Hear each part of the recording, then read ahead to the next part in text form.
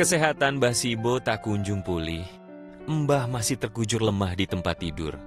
Kondisi inilah yang selalu dirasakan Mbah dalam beberapa hari belakangan ini.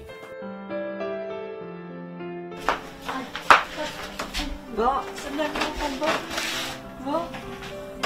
Mbok?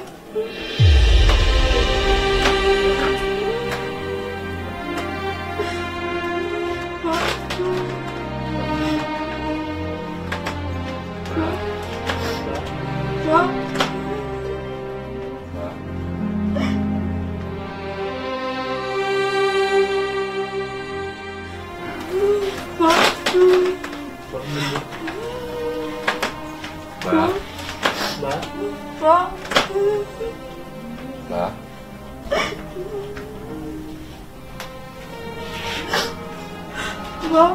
Ayo, Mbok, berobat, Mbok. Lah pripun? Mbak ini Mbak siapa ya?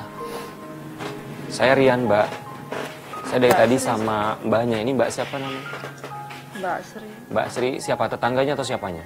ini orang tua saya. Oh, Mbak Sri ini berarti anaknya Mbak. Nggih. Iya tadi waktu saya lagi jalan sama Mbak, Mbak tiba-tiba jatuh eh, pingsan terus tadi ada yang nolongin Mas. Mas siapa tadi namanya? Mas Ari ya? Mas Ari yang nolongin katanya menelpon anaknya. Ini anaknya Mbah berarti ya. Paling kecapean, Mas. Kecapean sering nggak kayak gini? Sering. Hmm. Kalau nggak kita biar break dulu sebentar, biar mbaknya istirahat. Gue ajak. Gue mau ngomong sama Mbak Sri dulu sebentar kali ya. Iya kita Lu sini aja dulu ya. Eh, Mbak Sri ikut sama saya bentar, saya pengen ngobrol boleh ya Mbak? Kita keluar. Mbak nitip ya, Bay? Mari Mbak, silakan.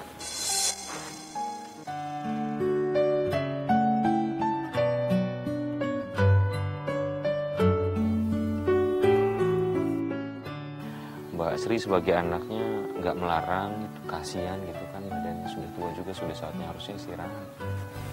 Iya, Mas. Kula niku nggih pun ngelekke kalih simbok.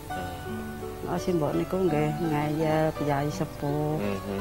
Ngoten niku, Mas. Nek delekke malah salin babah, Mas. Mhm. Niku simbok. Mbak Sri, Ya, Mbak. Sri kenapa membiarkan Mbak tinggal sendirian? Memang Mbak Sri nggak khawatir kalau Mbak kenapa-napa? Nggih. Pripun saya nggih takut, Mas. Kalau terjadi apa-apa sama Mbah, ndak ada yang nemani, Mas. Pripun meleh nggih. Dibawa ke tempat saya nggak juga nggak mau. Dibilangin ngerepotin gitu, Mas. Saya khawatir, Mas, sama kondisi Simbok.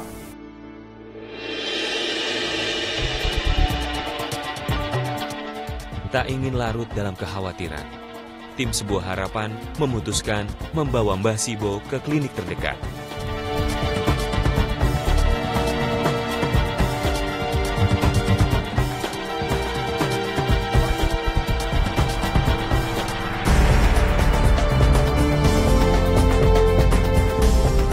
Penyakit asam lambung memang kerap menyerang tubuh Mbah Sibo karena ia sering lupa makan saat jualan. Beruntung penyakit Mbah Sibo cepat mendapat penanganan dari dokter. Sehingga tak berakibat fatal dan bisa dirawat di rumah. Mbak, kami punya sesuatu buat Mbak. Kan Mbak rajin sekali sholatnya, tidak pernah meninggalkan sholat. Sekali dari mulai sholat wajib sampai sholat sunnah, selalu meminta sama Gusti Allah untuk selalu dijaga. Makanya kami punya ini buat Mbak. Kami Biar cepat sembuh ya, Mbak. punya mukena baru buat Mbak supaya lebih semangat lagi sholatnya tetap dijaga tetap meminta perlindungan sama Gusti Allah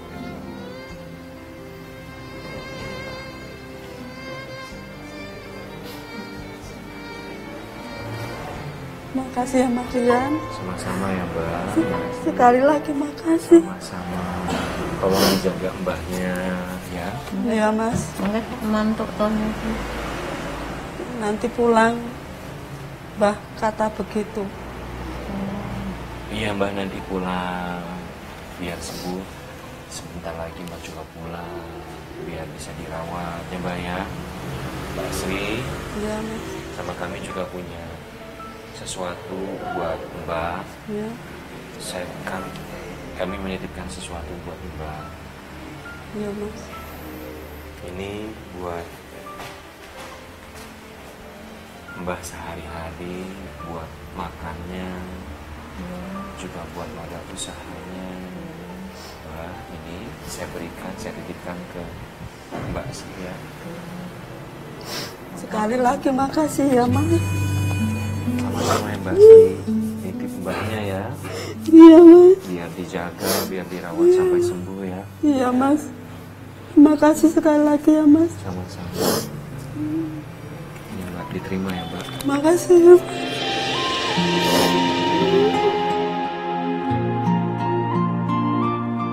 Perjalanan Mbah Sibo dalam menyusuri relung kehidupan memberikan pelajaran hidup untuk saya. Berusahalah selagi mampu untuk menggapai sebuah harapan yang indah.